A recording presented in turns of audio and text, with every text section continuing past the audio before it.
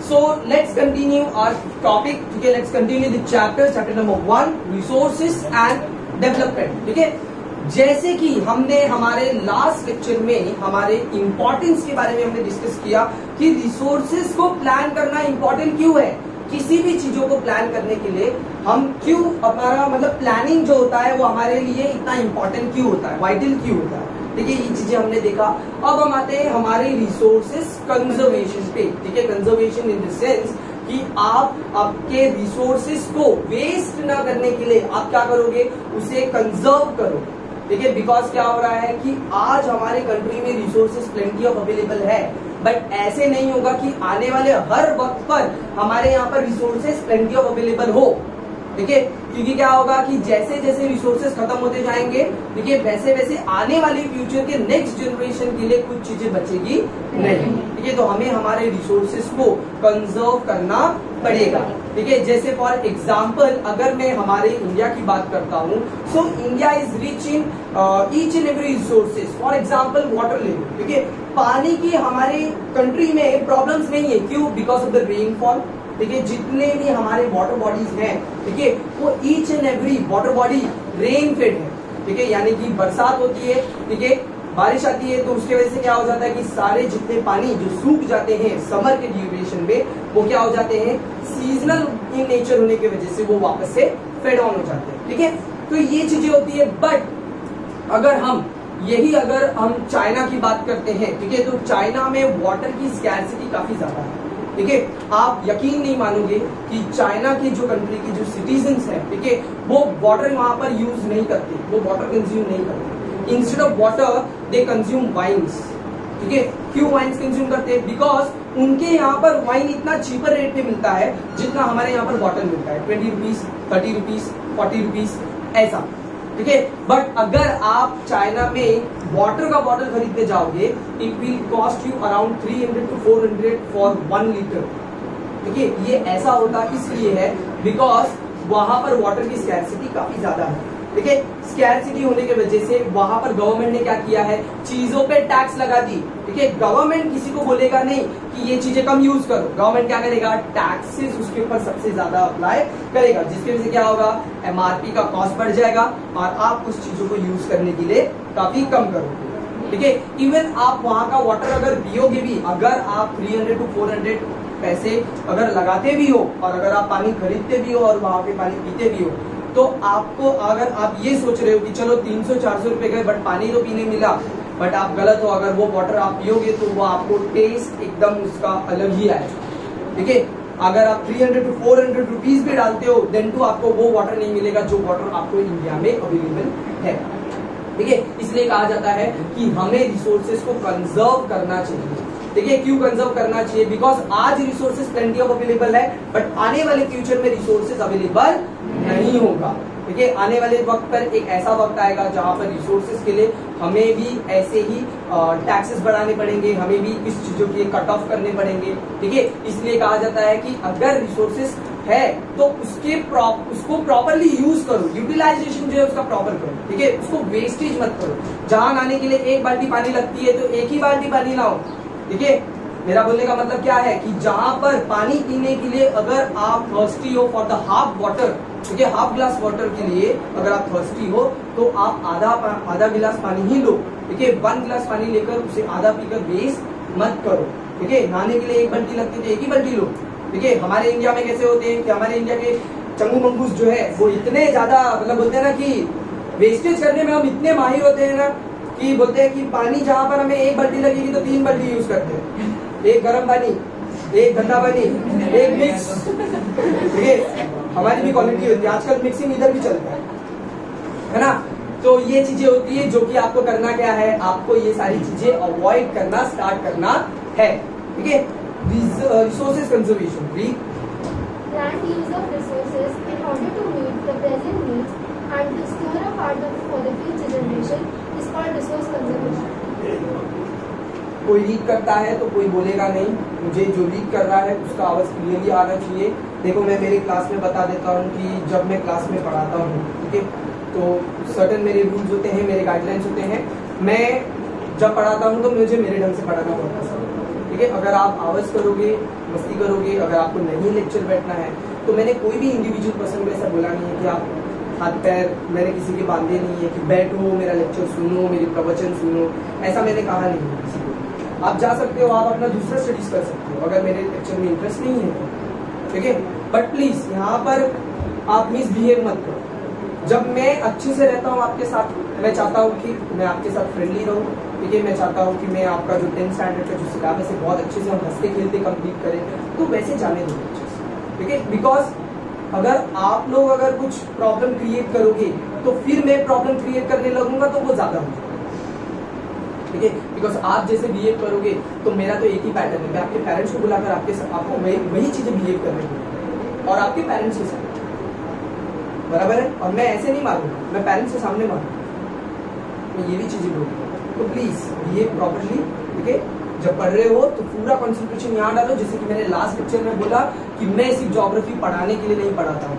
मैं बच्चों से करवाने के लिए पढ़ाता हूँ। पढ़ाने के लिए पढ़ाना और करवाने के लिए पढ़ाना there is a lot of difference between both the concept ठीक है? मैं पढ़ा रहा हूँ तो मैं चाहता हूँ कि आपके कंसेप्ट क्लियर हो जाए। मुझे ज़रूरत नहीं थी।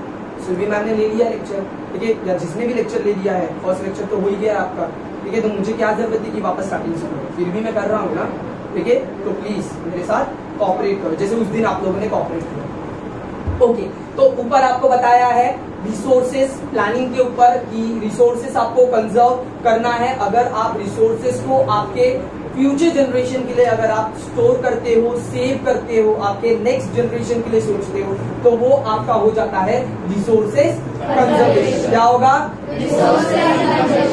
Then it is necessary because अब ये ज़रूरी क्यों है? ठीक है उसके ऊपर क्वेश्चन मार्क तो क्यों ज़रूरी? है पढ़ो। Many resources are non-renewable and exhaustible. If we conserve them, them, we can use them for a longer period of time. ठीक है कुछ रिसोर्सेस ऐसे होते हैं ठीक है जो रिन्यूएबल होते हैं और जो नॉन रिन्यूएबल भी होते हैं एग्जॉस्टेबल भी होते हैं। जैसे आप लोगों ने क्लासिफिकेशन ऑफ़ रिसोर्सेज में पढ़ा ठीक है? तो जब कुछ रिसोर्सेज यानी कि फ्यूल्स हैं मिनरल्स हैं केरोसिन हैं ये सारे ऐसी चीज़ें हैं जो आप रिन्यू नहीं कर सकते फॉसिल फ्यूल्स रिन्यू नहीं कर सकते, ठीक है? Because it take certain times to create ठीक है? तो ऐसे रिसोर्सेस अगर आप प्रॉपरली यूटिलाइज नहीं करोगे तो क्या होगा? ये आपको आने वाले जनरेशन के लिए स्कैसिटी हो जाएगी। आने वाले जनरेशन में इसके लिए आपको बहुत ज़्यादा प्रॉब्लम क्रिएट होंगे, ठीक है? देन आगे क्या बोला है? Conservation of resources help us to reduce wastage. It will help in economic progress. ठीक है अगर आप कंजर्वेशन करोगे रिसोर्सेज को ठीक है तो ये आपके लिए हेल्पफुल कैसा है? ये आपके इकोनॉमिक प्रोग्रेस को रोकेगा नहीं। ठीक है इकोनॉमिक जो होगी आपकी ठीक है वो उस पर्टिकुलर लेवल पे आपको इफ़ेक्ट पड़ेगा नहीं। कंट्री की इकोनॉमी होगी वो जैसे स्मूथ चल रही है वैसे आने वाले सालों में भी स्मूथ चलेगा। क्लियर हो रहा है सबको? ठीक है देन आगे क्या बोला है? रिसोर्सेज कंजर्वेशन एनवायरनमेंट को प्रोटेक्ट करने के लिए काम आएगा, ठीक है? जैसे कुछ इको फ्रेंडली गुड्स आप यूज़ कर सकते हो, ठीक है? कुछ रिसोर्सेज ना यूज़ करके जो हार्मफुल ना हो एनवायरनमेंट के लिए, ठीक है? तो ये अगर आप रिसोर्सेज कंजर्व करोगे तो आपके एनवायरनमेंट के लिए वो क्या है? फ़ायदेमंद रहेगा, ठीक है? तो ये था हमारा क्या? रिसोर्सेज कंजर्वेशन ठीक है? अब यहाँ पर स्पेलिंग एरर है. ठीक है? There is an error in the spelling of Gandhi ji ठीक है? तो नेग्लेक्ट करो उसको बिकॉज़ ये स्लाइड शेयर पे लिए गए, लिखे गए हैं. ठीक है? ये स्टूडेंट्स के थ्रू बनाए गए हैं. ठीक है? और इनकी मेहनत इतनी ज़्यादा है कि इन्होंने इतने अच्छे प्रेजेंटेशन बनाए हैं तो कहीं ना कहीं प्रॉब्लम्स क्रिएट हो जाते हैं. आपसे भी मिस्टेक्स होते हैं. ठीक है? तो मैं बता देता हूँ कि ये गांधी जी है. ठीक है? Gandhi ji idea on resources conservation ठीक है? अब बापू ने क्या कहा था? ठीक है, गांधी जी ने यहाँ पर रिसोर्सेज को कंजर्व करने के लिए क्या चीज़ें लोगों को बताई गई? सिटीजन को क्या बोला गया? ठीक है first according to Gandhi ji there is enough for everybody need and not for anybody's greed please make proper concentration over here ठीक है? Because this is very important this questions ठीक है बोर्ड आप लोगों को क्वेश्चंस पूछे जा सकते हैं। ठीक है? They might be ask you to justify the statement ठीक है? जहाँ पर आपको क्या करना पड़ेगा? जस्टिफिकेशन देना पड़ेगा कि ये चीज़ें क्या बताने की कोशिश की। तो यहाँ पर क्या बोला है? There is enough for everybody हमारे कंट्री में लोगों के लिए इनफ है। चीज़ें है। सारी चीज़ें अवेलेबल है। बट वो उनके नीड्स को फुलफिल करने के लिए है। किसको फुलफिल करने के लिए? नीड्स को ना कि उनके ग्रीड्स को फुलफिल करने के लिए। ग्रीड्स इन द सेंस लालच ठीक है? और जैसे कि आप सभी जानते हो कि लालच क्या है? लालच? लालच बुरी बला है। ठीक है? अगर आप ग्रीड के लिए अगर आप करोगे ठीक है यूज़ करोगे तो उसके लिए हमारे पास रिसोर्सेज आने वाले वक्त में कम पड़ जाएँगे ठीक है? हमारे कंट्री में रिसोर्सेज बहुत अवेलेबल है। तो लोगों को ये बताना बहुत ज़रूरी है कि भाई हमारे कंट्री में रिसोर्सेज है। यस इट्स अवेलेबल ठीक है बट कैसे? वो नीड्स को फुलफिल करने के लिए है। अगर आपके नीड्स फुलफिल होते हैं तो आप राइट हो। बट अगर आप उसको आपके ग्रीटनेस के लिए अगर यूज़ करोगे ठीक है? उसके साथ अगर आप पॉलिटिक्स खेलोगे उसके साथ अगर आप मिस यूज़ करोगे तो वो रिसोर्सेस का आप यूटिलाइजेशन प्रॉपर कर रहे नहीं हो। समझा? क्लियर हो गया? Yes. पक्का? Okay Yes. ओके देन आगे क्या बोला है?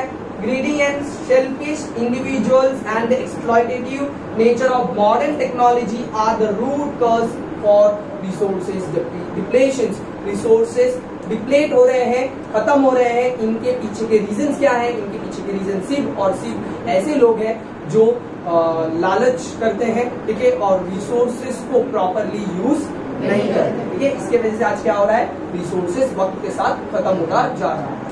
Then he was against mass production and wanted to replace it with production by masses. Gandhi ji की सोच ये थी कि मास प्रोडक्शन मत करो ठीक है मासिस के लिए प्रोडक्शन करो यानी कि सबसे पहले लोगों की डिमांड समझो if people are demanding for pencil you produce only pencil ठीक है अगर आपको पेंसिल प्रोड्यूस करने बोला है तो पेंसिल प्रोड्यूस करो ना अगर डिमांड पेंसिल की है तो इरेजर भी प्रोड्यूस करो बराबर? समझ में आ रहा है? So you have to study the demand and supply chain for the economic of the country ठीक है आपको कोई भी कंट्री की, आपको उसकी नेचर समझनी पड़ेगी कि लोगों को क्या पसंद है, बराबर? अगर आपको काजू कतली पसंद है तो काजू कतली खाओ, बराबर?